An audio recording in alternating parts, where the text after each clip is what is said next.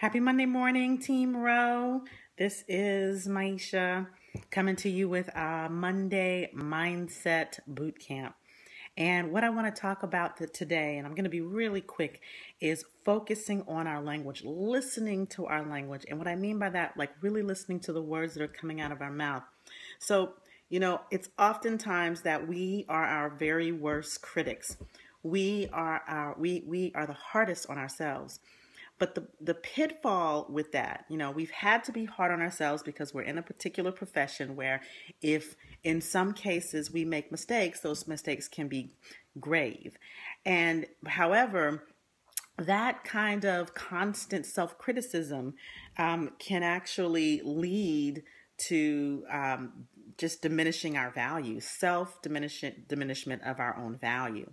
So we need to be mindful of the language that we're using when not only we're referring to ourselves, but we're just talking in general, because we tend to unconsciously beat ourselves up um, through our language and through our thought processes.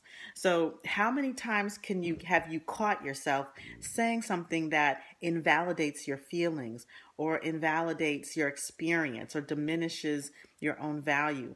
And it may be something as simple as, you know, I need to just get over this or I need to just snap out of this. Um, if you're experiencing some having some type of emotional experience, um, what that does even though it sounds harmless, is it invalidates your entire experience. So you want to listen to the language that you're using on a day to day basis to look at where, as you're building your practice, where could you be speaking a language that's disempowering you or invalidating your own experience? Because at the end of the day, when we're not empowering ourselves, when we're disempowering ourselves, that becomes a barrier and a block to our performance. And we're here to definitely serve, but we want to also uh, make sure that we're empowered in this process of growth. And so, in order to be empowered in that process of growth, we have to really listen to our language. That's our internal language and what's coming out of our mouths. And it's a good idea to get yourself an accountability partner, uh, someone who can listen to when you're saying something to yourself that you wouldn't normally say to someone else. When you're when you're beating yourself up in a way that you wouldn't beat someone else up. So you want to actually have someone to be maybe a committed listener or a partner, if whether it's your husband um, or your you know best friend. Sometimes it's our children if they're old enough, because our children are sponges and they're often listening to what we're saying. The point is.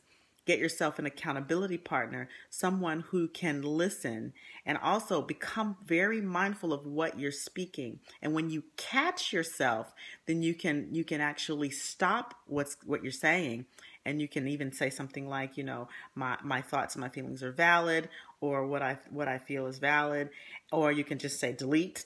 You can say cross that out. Whatever it is to let your unconscious mind know that that's not the message that you want to send yourself. You want to be sending your unconscious mind and your conscious mind positive, empowering messages so that that integrates into the cellular level and it actually impacts your outlook and your performance in the long run. So that is um, the mental um, mindset tip for this week. Um, and or the Monday mindset tip for this week.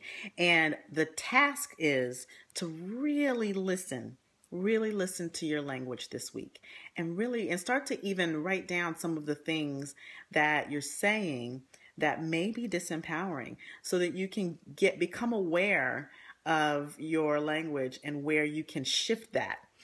And one of the greatest ways to do that is is your is your gratitude list or your acknowledgement list. You know, what did I do well this week? What what good happened this week? What do I want to celebrate this week? We often are such doers that we forget to celebrate what good is happening. So that's your task for this week. Um, you're welcome to post in the comments what you find, what you're noticing. And if you want to have a free uh, strategy session with me through the Road Network, just just go on to the Road Network and you can book directly with me, and uh, we can go over what's working, what's not working, um, what it is that you feel like you need to be well so that we can move in that direction if you should choose to work with me ongoingly.